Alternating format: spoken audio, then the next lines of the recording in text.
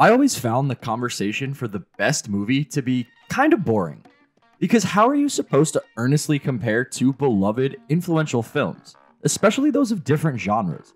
Like, which is the better movie, Pulp Fiction or Silence of the Lambs? How does Parasite hold up against, say, Forrest Gump? If a great comedy can make you laugh and a great thriller can put you on the edge of your seat, how can you definitively say that one is superior to the other? If they both work great in their own way, which is truly better? It's just kind of what you're in the mood for on any given day. At least for me. A good movie is a good movie. And too often, comparing them against one another devolves into conversations of personal preferences or popularity contests. Or the Academy just jerking itself off. Remember when The Artist, a silent movie, won Best Picture in 2012? When was the last time you or anyone you know watched The Artist? It's all so silly, and every year at the Academy Awards, we all collectively do this exercise in futility. But what if we change the exercise a little? What if, instead of trying to find out which of the vastly different good movies is better, we focus instead on finding out which of the vastly different bad movies is worse? Because while good movies can be good for a million different reasons, Bad movies tend to all suck in the same sort of way. Writing, acting, editing, sound design, this stuff is more universally comparable when you're not evaluating the quality, but the lack thereof. I don't know about you, but to me, it doesn't really matter what the genre is when I'm stuck sitting through a bad movie. Whether it's some lame ass buddy comedy dubbed the next Superbad or installment 86 of the fucking MCU, I'm likely getting the same reaction regardless of genre. I'm gonna be bored. I'll get totally sucked out of the immersion and be checking my phone constantly. Maybe I'll start nitpicking mistakes in the editing or just completely zone out and retain no information for minutes at a time. We've all been there. We all know how it feels to watch some real crap, because there's been plenty of it lately. But the point is, it doesn't matter what type of bad movie you're watching. That feeling of suck is universal. And thus, through this lens, we can compare the magnitude of a film's ability to evoke an emotional response in the viewer rather than just comparing which emotional responses we prefer outright. It's no longer which is better, a comedy or a thriller, but did either of these dumpster fire productions accomplish a single thing that they set out to do? That's a much more manageable conversation. And that's why I believe the search for the worst movie is far more compelling than the search for the best. Because the best movie is subjective. The worst movie might just not be. And I think we can figure that one out. I also just love bad movies. Because aside from the obvious fun that can be had watching a movie fail spectacularly, bad movies serve as an important function as a basis of comparison. I don't know about you, but I get newfound appreciation for spectacular filmmaking when I see what the end product looks like in less than capable hands. For all the lessons to be learned from studying the greats of the movie business, there's 10 equally important lessons to be learned in what not to do from Hollywood's less than reputable productions. But just how do we go about all this? Thanks to modern editing techniques, we can use existing footage to complete the film without Milhouse. Watch. We're going to pull together and we're going to find a way to get out of here. First, we're going to seal off this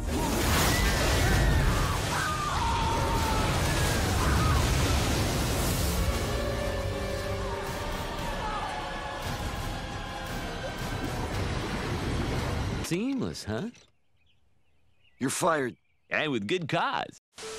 So now that we've intellectualized our rationale for watching a bunch of terrible films, it's time to actually answer the question which one is the worst?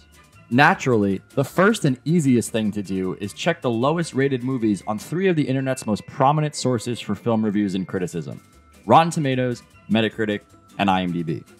Pick an arbitrary cutoff point, and boom, you have a list of the worst movies ever according to the collective knowledge of the internet. But before we can analyze them further, we need to refine the results. Because as of writing this video, there's 41 movies on Rotten Tomatoes that have a critics consensus of 0% with at least 20 reviews. There's 25 movies on IMDb with a user rating 3.0 or lower, and 33 movies on Metacritic with a review score in the single digits. There's also 45 Golden Razzie Worst Picture Award winners since 1980 that I'm tossing into the mix in honor of the original bad movie aficionados. And after removing all the duplicates from these sources, you're left with a total of 130 movies. But of these 130, we need to remove some from contention. And that's because in order to be the worst movie of all time, a film must meet two more criteria in addition to poor reviews and user ratings.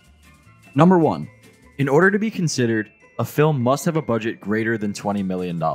Because let's face it, it's easy to rip movies like The Room or Birdemic because they're so cheaply produced. But this is low hanging fruit, in my opinion. And while it's obviously dubious to assume that more money in the hands of Tommy Wiseau would have fixed the problems with The Room, I believe it's a bit more forgiving when a movie on a shoestring budget or an independent production makes noticeable mistakes. What's less acceptable is when a studio puts tens of millions of dollars into shoddy work. So I've chosen 20 million as an arbitrary cutoff point. So I'm sorry to say, but if you were here for reviews of Human Centipede 3 or Hillary's America, the secret history of the Democratic Party, I'm afraid these gems, amongst others, didn't make the cut. Number two, movies on our list must have lost money at the box office. And the reasoning for this is simple. No matter how bad a movie is, it simply can't be in contention for the worst movie of all time if it succeeded financially. Because a lot of the reason these movies are listed here is because of critical response. But if a movie was panned and people still paid to see it, who are critics to have the absolute say? In fact, some of the movies I'm about to discuss have higher, albeit still generally low, audience ratings despite being hated by critics. And these films were still considered successful endeavors at the very least in terms of the studio's books, which means they simply cannot be the worst. The worst movie must fail on all accounts, both critical and audience reception, as well as financial return.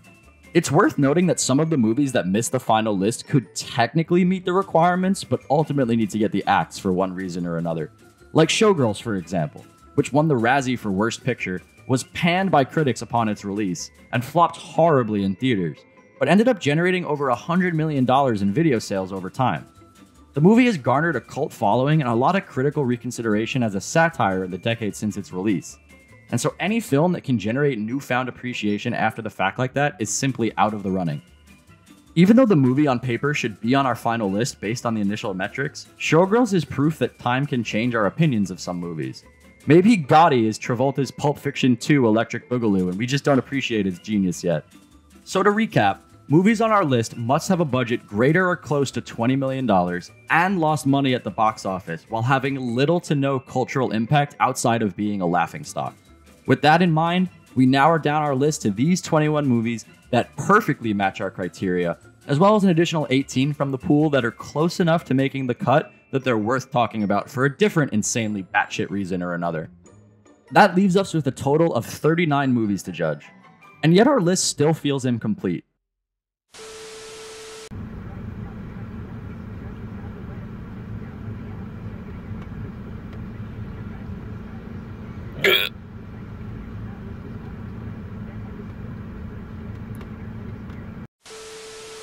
So far, these sources of bad movies have only taken into account critical and audience reviews. And while that's important, it isn't everything. What about movies that were bad because they were black holes for the studio's money? Because movie budgets have inflated to astronomical levels in recent decades. And $100 million worth of special effects might be enough to bump a bad movie up a few decimal places off of IMDb's worst of the worst list, but it isn't enough to escape our wrath. And since watching every single mediocre $200 million summer blockbuster of the last 30 years makes finishing this series unfeasible, I went to the list of the movies that lost the most money at the box office in history. The biggest, most bloated flops in cinema. And breaking down these was really interesting. I took the 20 biggest box office disasters from the Numbers.com database and then compared the Rotten Tomatoes, Metacritic, and IMDb ratings for all of the films on the list. And this was fascinating not just for the movies, but for the review aggregators themselves.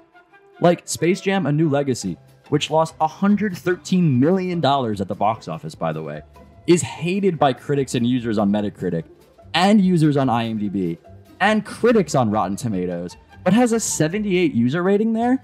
That's kinda sussy. Another weird anomaly is the Mulan remake, which is the only film on this list to be rated positively by critics, yet very negatively by viewers which I thought was interesting. You also had movies that critics panned, but viewers really enjoyed, like the recent Keanu Reeves movie 47 Ronin or Guy Ritchie's King Arthur Legend of the Sword. What was most fascinating, perhaps, were the movies that lost a ton of money despite being generally well received by both critics and audiences. Pixar's recent release Onward, for one, which unfortunately released right when the pandemic was starting, so kind of a victim of circumstance situation that it ended up on this list. Also, Hugo, which is a kids' movie directed by Martin Scorsese. I had no idea this movie existed, but it was nominated for Best Picture when I was in ninth grade, which is kind of crazy. I wonder what it lost to. Oh, god damn it. But this list of the biggest losers bestows upon us four additional picks to consider. Each of these films is close enough in negative review metrics that the substantial financial losses incurred on top of them warrant further consideration. When you're spending hundreds of millions of dollars on a movie, that standard is higher. And these four films miss that mark with colors so flying that they deserve to be on this list. Um, okay, how about this? Adam Sandler is like in love with some girl, but then it turns out that the girl is actually a golden retriever or something. Oh, perfect! We'll call it Puppy Love. Give us another movie idea, AWESOM-O. Yeah! Let's hear it. Yeah, we wanna hear come 'em. on. So, after checking all the available data from movie review sources around the internet and cross referencing and double checking every failed film to find the true worst of the worst, we're left with these 43 absolute, without a doubt, most horrible motion pictures ever produced. Which is fitting, because movie 43 is most definitely on this list. It's one of the few I've actually seen before I started this project, and my god, is it worthy of the title. But I gotta say, I'm really excited to watch some of these. There's this Kelly Clarkson movie that came out like nine months after she won American Idol, really capitalizing on that moment. Super opportunistic. I'm sure it'll be horrendous. There's an Amber Heard movie on here, so that's topical. And on the other end of the topicality spectrum, there's not one but two Paris Hilton movies, too. And I'm obviously pumped for the spiritual journey that is the infamous John Travolta Scientology movie, Battlefield Earth, a saga for the year 3000. There's this weird, ludicrous Terry Crews gang movie. There's that weird Jim Carrey Netflix crime movie. There's a Dennis Rodman action movie that. that. Why in the hell did you gag her? I had this, and she wouldn't, she, she wouldn't shut up. A potato, a damn potato, huh? I tried grapes, but she kept eating them. Maybe you just want some grape Poupon. Hold on.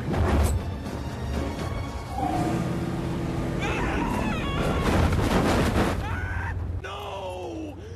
This is not happening! Shit! and I just cannot wait to see.